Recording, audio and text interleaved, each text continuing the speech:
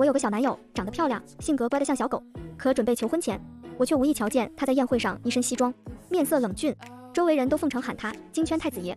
你总有很多人以为宋乔安是我养的小金丝雀，他小我三岁，模样俊朗，看起来乖巧白净，一米八几的大高个，瞧着却没什么攻击性，天天姐姐姐姐，甜腻腻喊着，像又乖又粘人的小狗。姐姐你回来了，刚推开家门，宋乔安就脱下围裙迎了上来，一把将我搂到怀里。青年毛茸茸的脑袋埋在我的肩头，含糊着撒娇。一天没看见姐姐，好想姐姐。身旁的助理习以为常的移开目光，将公文包放在玄关的鞋架上。老板，我先走了。打工人后退一步，面不改色的关上大门。见到这场景，我好笑的揉了揉宋乔安发红的耳廓。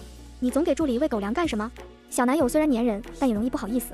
明明刚开始交往的时候想亲一下都要脸红，现在性子不变，怎么还添上了爱给人撒狗粮的举动？宋乔安松开我，轻而易举让我坐在他的小臂上。把我抱到了餐厅，他低下头在我唇上咬了一口，哼哼唧唧，因为姐姐太出色了，我想让所有人都知道姐姐是和我在一起。小狗委屈巴巴地垂下尾巴，眼睛湿漉漉地看着我，我好笑地揉了揉它的脑袋，我最喜欢你了呀。没安全感的小狗听见情话，眼睛一下又变得亮光光，它凑上来亲亲抱抱了好一会，这才心满意足地回到餐椅上，开始一起填饱肚子。想着公司里总是满天飞的传闻，我盯着宋乔安空荡荡的手指半上，忽然升起了个念头，我们交往三年，同居两年。争吵的次数，两只手数得过来，和谐的像老夫老妻。可就连合作伙伴都以为宋乔安是我的金丝雀，旁敲侧击问我什么时候换口味。宋乔安每天在家工作，听见风言风语，的确会很不安心。要不求婚吧？二念头升起，我立马偷偷嘱咐助理约了最近一场我能约到的小型拍卖会。我这人是个急性子，风风火火，实在等不及定制，不如直接买出名的成品来得快。正好听说这场拍卖会金圈的太子爷也要参加，主办方掏了许多精品出来讨人欢心，也不愁都是些丑东西。我谎称出差，从家里搬出来，一边做求婚功课，一边在新买的别墅布置现场。拍卖会当天，我还特意换了一辆新车，以防在外面不小心被宋乔安看见了，到时候不好圆谎。这场拍卖会规模不大，但因为金圈太子爷也要来的缘故，人倒是到得很齐。主办方为了更好招待贵客，特意在拍卖会前举办了场小型宴会，供在场的人谈生意聊感情。我来拍卖会本就有事，因此没立刻和他们应酬，而是躲在角落研究起了展品单子。默默在心里确定了几个名单后，我掏出手机记录。恰好这时候，宋乔安的消息弹出：“姐姐，你什么时候回来呀？我好想你。”附带上了一个小狗表情包。一想起他那张可怜兮兮的脸，我忍不住心里一软。我也很想你，放心，我很快就回去了，还会给你带来一个大惊喜。剩下这句话我没有发出去。宋乔安立刻发了两个小狗撒娇的表情包。那我在家等姐姐回来。瞧瞧瞧瞧，这么乖的男朋友，肯定要快点拐回家。人来人往的宴会里，我憋了半天才忍住自己不要笑得太夸张。正当我准备最后回条消息，将手机塞回手包时，不远处一声尖叫声拉走了所有人的注意力。我下意识挡住手机，抬起头向热闹处看去，一张熟悉的不能再熟悉的脸猝不及防撞入视野中。我倒吸一口凉气，站起身仔细盯了一下，我没眼花吧？刚刚还在手机里给我发撒娇表情包的小男友，此刻穿着一身黑西装，被人众星捧月围在中间，身前不远处倒着一个嘤在哭的姑娘，她面色冷峻，完全没有了在我面前时候的温和无害。而是高高在上，气势逼人的很。倒地的姑娘哭个没完，他也完全没有管，只是垂着头摆弄手机。反而身边狗腿一般的人忍不住出声：“这可是我们京圈的小太子爷，你上来就把人当色狼想扇巴掌，开罪得起吗？”三，我大脑空白，愣愣躲在人群最后面看着宋乔安。对于京圈太子爷这说法，我倒也有耳闻。宋家是京圈老牌的强豪，只是近些年家族内斗导致骚操作多，生意一再下滑。就在所有人都猜测着哪家新贵会咬下宋家的地位时，宋家却突然冒出了个堪称商业奇才的小少爷，他几乎一手把住了宋家下落的趋势，将这庞大的家族整顿后，又带上了更高的台阶。因为出色又不爱到处显眼，圈里的人极其奉承这位宋小少爷，一来二去开玩笑似的就开始喊他太子爷。刚在生意场中摸爬滚打的时候，我也听过他的名声，但因为涉猎方面不重合，再加上他隐私保护得很好，所以我一直也不知道他的样子和名字，因此也从来没想过我可能会认识他。只是记忆里的小男友纯情真挚，像一簇明亮的火焰。而传闻中的金圈太子爷冷漠、高傲、手段雷厉风行，两个性格近乎极端的人，怎么也没办法在我脑袋里重合成一个。揉了揉眉头，我试着给还在等待我回复的小男友发去了一个表情包。几乎同时，被众星捧月围着的青年手里的手机也发出了声响。这下子，什么只是长得像之类的借口都被通通打散。我没有认错人，那所谓的金圈太子爷，真的就是我那相处三年、正准备求婚的小男友。四，从认识宋乔安开始。我一直都以为他是家境普通的城市青年。他在我被母校邀请做优秀毕业生演讲时一见钟情，下了台就偷偷摸摸溜到后台，就为了在没人的时候夺我要联系方式。那个时候的宋乔安穿着一身洗到发白的牛仔裤，笑容腼腆，活脱脱一副刚毕业的穷学生样。相识后，他靠着不停在社交软件上刷存在感，和小学生追人一般的写情书，成功让我印象深刻。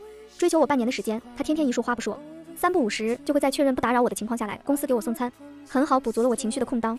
我那时刚把公司拖上正轨，精神松弛，一来二去被他打动，也就顺理成章的在一起了。宋乔安很少提起自己家里的事情，只是在避不开话题的时候模糊说过父母早亡，家里不太平。我想着我家也是差不多的情况，琢磨着不要戳人伤口，也就没再多问。即便隐约感觉有事隐瞒，我也只是想着，等他想要说的时候，什么都瞒不住。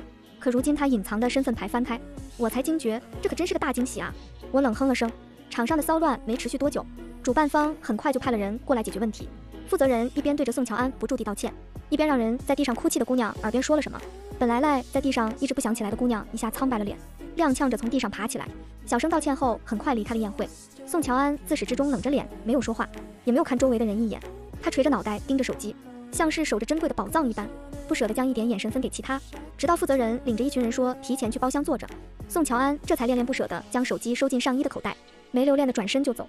我看看聊天软件里的撒娇小狗，又看看他挺拔的背影，呵，行啊，小男友，面孔挺多，跟我玩变脸是吧？我冷笑着收起手机。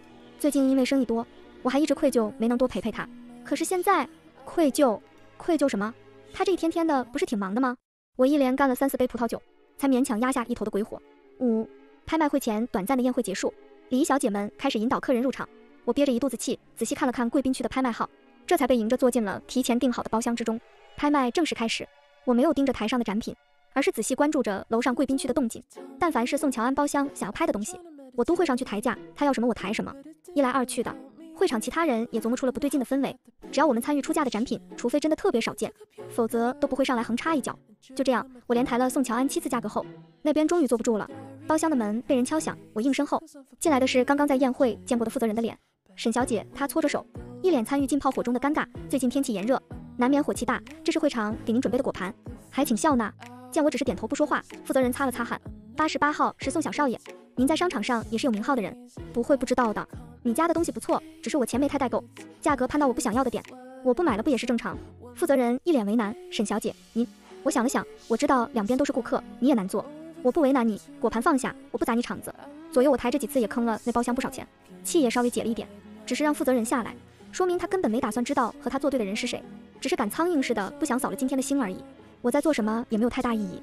现在见好就收，卖拍卖场一个人情也是好的。闻言，负责人立马松了口气。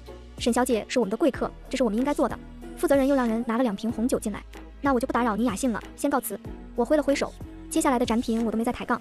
眼看着宋乔安那个包厢花钱如流水般拍了一大堆东西，低头反复翻着手机里助理传来关于宋乔安原身份的相关资料，我心里乱糟糟的。以前我总以为不论是在商场还是在感情上，我都能做到快刀斩乱麻，干净利落。可事情真的到了眼前，我想了又想。心里却只冒出三个字：舍不得。交往这么几年，他是真真的三好男友，就差把一颗真心掏给我看。我又不是傻子，真情假意还是分得清的。况且对于他的身份来说，我能被图什么？图被人阴阳怪气吃软饭，说是我的金丝雀？除非他有特殊的癖好。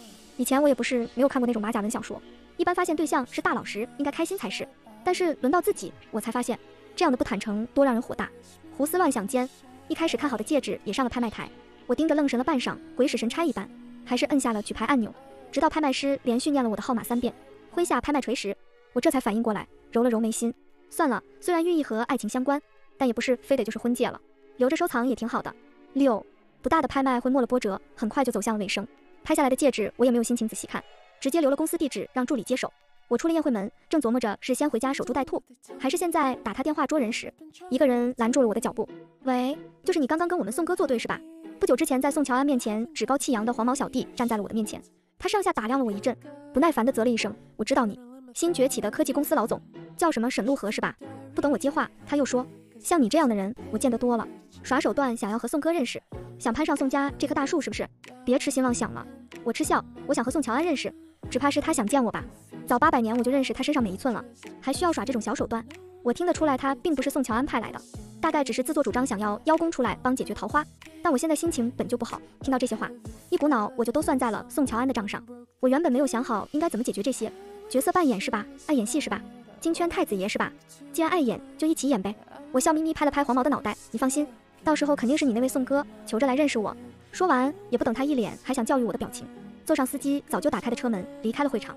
气，我在外面多待了几天才回家。和宋乔安同居的房子是他找的大平层，当时说是长租，也硬是没要我 A 过去的钱，说是恰巧卖了一本小说的版权，所以一下租了很久。现在想想，估摸就是他自己的房子，租什么租？摁开指纹锁，熟悉的身影就猛地扑了过来。姐姐，我好想你。宋乔安抬手拿过我的包，想要环住我。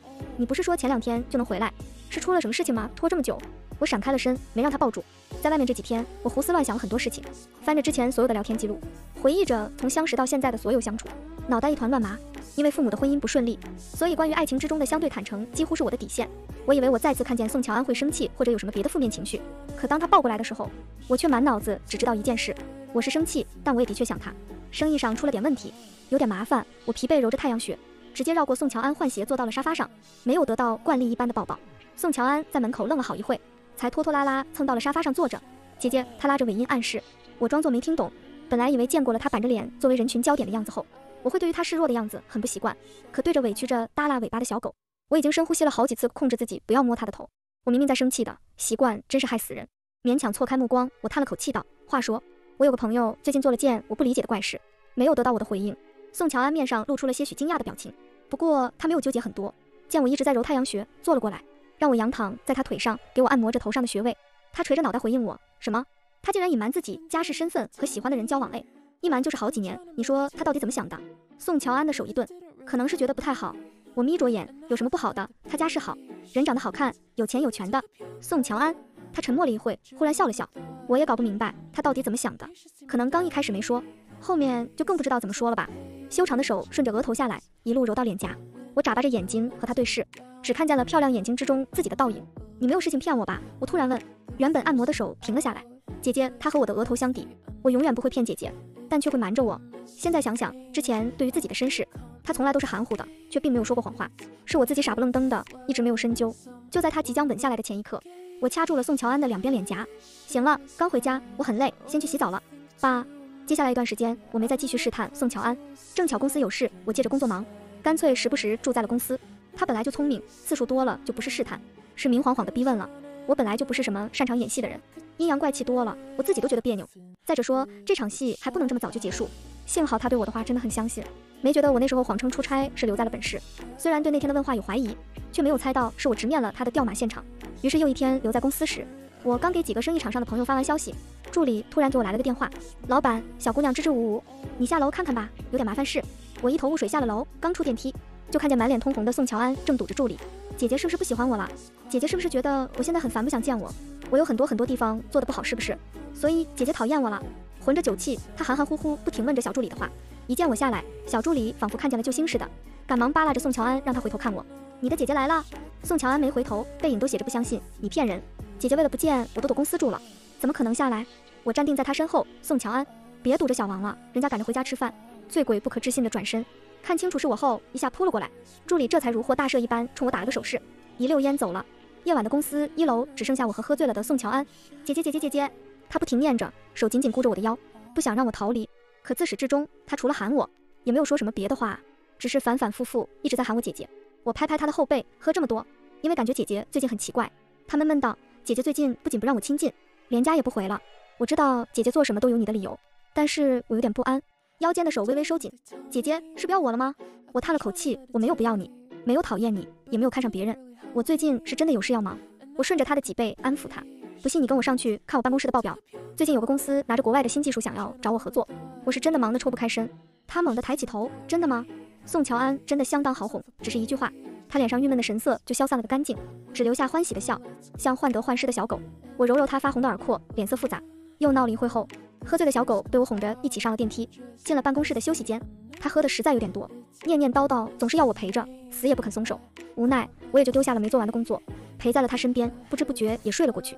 第二天一早，我下意识摸摸床边，却只摸到了一片空。揉着眼睛出门时，宋乔安正坐在我的办公椅上，对着我桌上的文件发呆。姐姐醒了，她站起身，走过来理了理我睡得散乱的头发。想吃什么？我去买。我瞥了眼办公桌，你看了我新项目了，是不是很棒？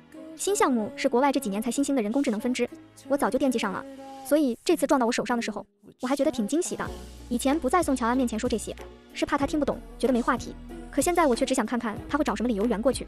宋乔安抱着我晃了晃，姐姐，虽然我不是太懂，但我总觉得这个公司来的太巧了。你早就想要，可这事又直接撞到了你手里。要不你再仔细看看？我盯着他笑，你没做过生意，不知道啦。有时候就是这样巧。而且你不相信我的眼光吗？我问。宋乔安垂眸看着我，眼神湿漉漉。姐姐的眼光当然很好，我只是觉得应该谨慎一些。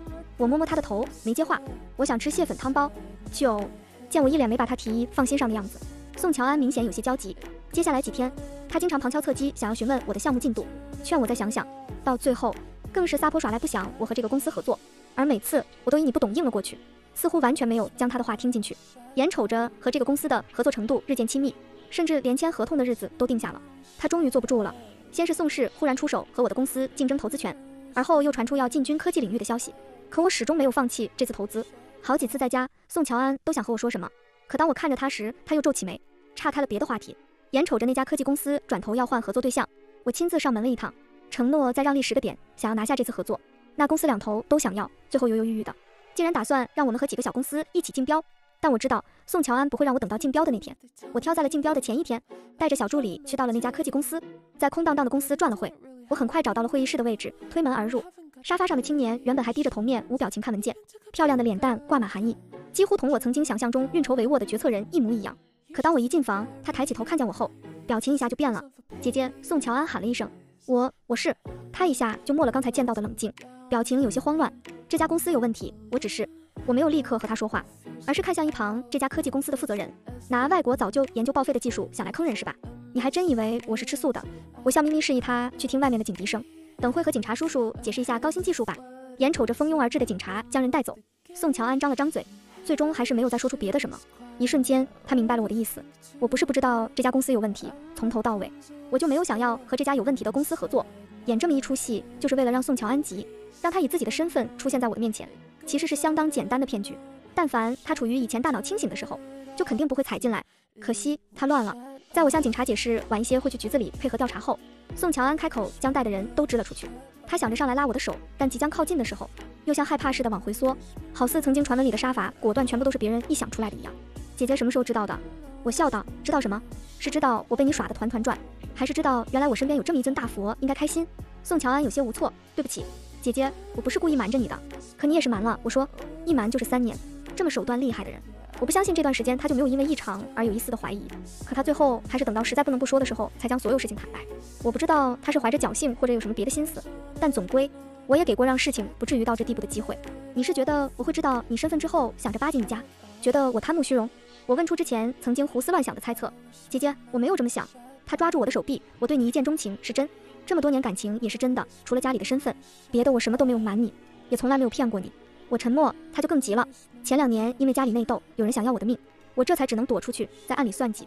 宋乔安解释，我从前没有喜欢过人，我是真心真意对姐姐的。一开始我不想姐姐被牵扯进来，才没有告诉你。后来时间久了，我是真的不知道怎么说，拖着拖着就变得越来越胆小，越来越不敢说。我松了口气，还好这三年并不是白瞎，起码在感情上我们互相都是坦诚的。我知道你是真的喜欢我，我摸摸他的头，不然我在拍卖会看到你的时候，我就会和你分手了。发觉被隐瞒时，我什么都想过，就是没有想过要和宋乔安分手。但不分归不分，不代表我不生气。至少有一点，我要让宋乔安知道，在伴侣有事隐瞒的时候，是会不安、会焦躁、会害怕的。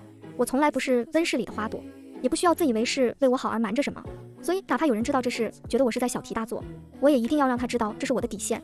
宋乔安，你和我都是有独立思想的成年人。我报复回去你的隐瞒，如果你觉得很过分，那就按照你自己的方法想怎么处理怎么处理。我认真道，我会配合你解决。宋乔安抿唇，我知道了。十，事情发生的第二天，我就暂且搬出了和宋乔安同居的房子。他没提出任何的解决方法，也没有提分手，只是每天在软件上姐姐长姐姐短，甚至都没有给自己做任何的辩解。我还生着气，一句也没回。设局坑了宋乔安一把，还击回去后，我又一脸冷静了快一个礼拜的时间，气这才散了个差不多。直到这时候，我才想。我们之间算不算分手了呢？就他那天被我抓包的表现来看，说不说都是那回事了吧？有点难过，但我却不为自己做过的事情后悔。下了班，我漫无目的开车游荡着，不知怎么晃到了之前准备求婚的酒店，坐在已经布置好的求婚现场办上。我看了又看，还是没舍得把这些拆了。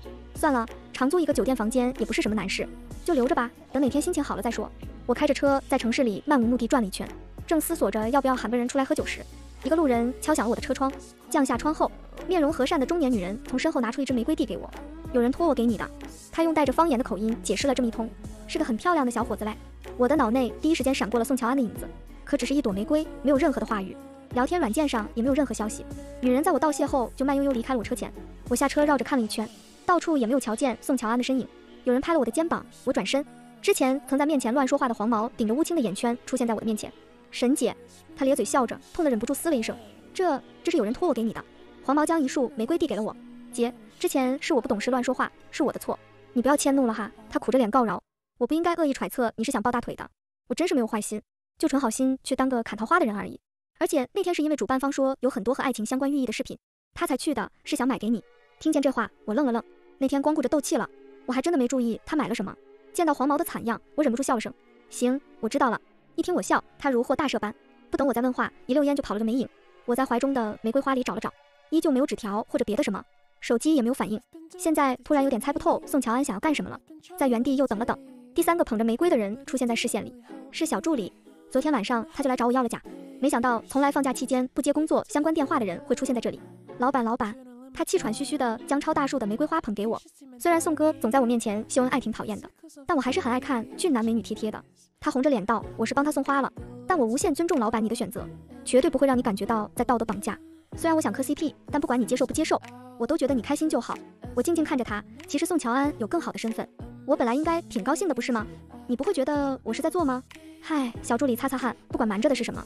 他总归是做错了事情啊，要受罚认错不是应该的操作吗？况且这是你们两个人之间的事情哎，就我看他超爱的好吗？他完全没觉得你做的有什么问题了。小助理，好啦，任务结束，我继续享受我的假期去了。小姑娘朝我挥挥手，蹦蹦跳跳的离开了我的视线。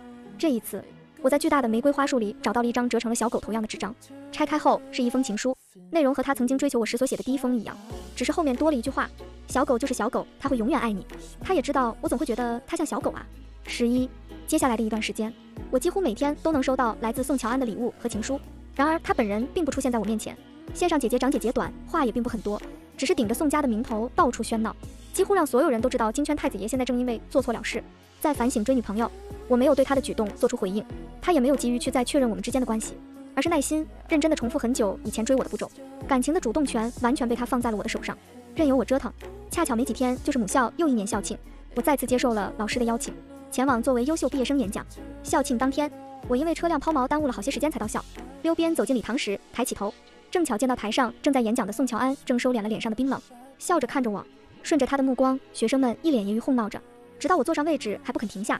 宋乔安的演讲已经到了尾声，负责主持的学生接过麦克风，径直地问着稿子上的问题。